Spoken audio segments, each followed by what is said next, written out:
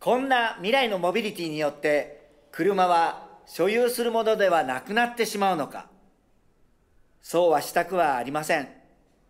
共有するモビリティがあるからこそ人はよりパーソナルなモビリティを所有することになる。その答えがあちらです。e レーサーです。皆さんの車庫にある車は全部この e レーサーのようなスポーツカーになる。ということです。まあそれはちょっと極端ですけどね。でも自分の意思の通りに移動したい。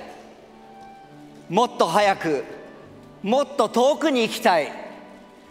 こうした人間の欲求は普遍的なものだと思います。車の誕生によって米国では1500万頭の馬が車に置き換わりました。でもどうでしょう？競走馬は残りました。馬を操る楽しさは車に勝るとも劣らずまた馬は障害物があったら自ら避け穴があったら自分で判断し飛び越えます。馬は人と心を通わせることができる。馬は乗る人にとってかけがえのない存在なのです。車も AI の進化により人と心を通わせる存在になるのではないでしょうか。そう未来の車はまた馬のような存在になると思うのです。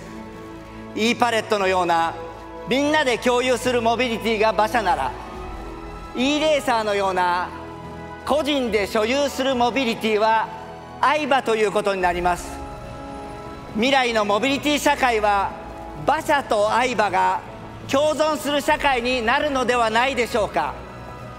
そして人々が愛馬に求めるものは心を通わせ一緒に移動する喜びです。こちらも心を通わせる相棒です。別名魔法のほうき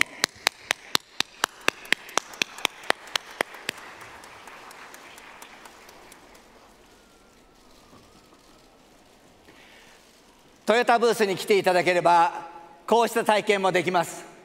でもまだ飛ぶことはできないみたいです。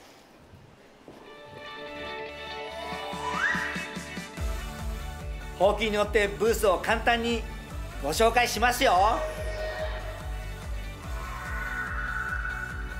まずこの受付でレジデンスカードを作ります。それを持っていろいろな体験をするとポイントがたまるんです。例えばここは未来の健康診断。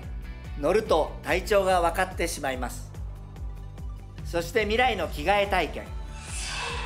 着替えることなく自分に合った服を選べます。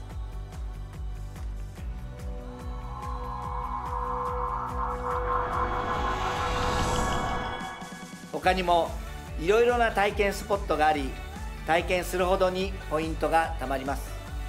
そしてここトヨタコンビニ貯めたポイントでグッズがもらえます。ちょっと気合い入れてグッズも作りました。はいどうぞ。ありがとう森蔵君今回のトヨタブースは人を中心とした未来の暮らしをテーマにいたしました。まずはお越しいただいた皆さんに楽しんでもらえること。ファンを感じてもらうことを大切にいたしました。それは未来のモビリティにおいてもファントゥードライブを大切にしたいという気持ちと同じです。今日はトヨタブースを知っていただくのが目的です。新車は別の場所に準備しております。ぜひ見に行っていただければと思います。今日はとにかく人の話なんです。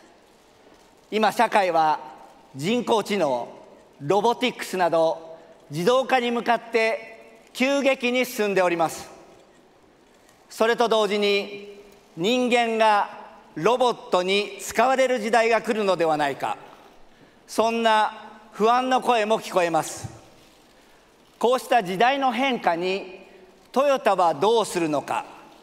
トヨタ生産方式にそのヒントがありました。トヨタのルーツは豊田佐吉が発明した自動食器にあります。その発明の最大の特徴は糸が切れたら自動的に止まること。不良品を出さない。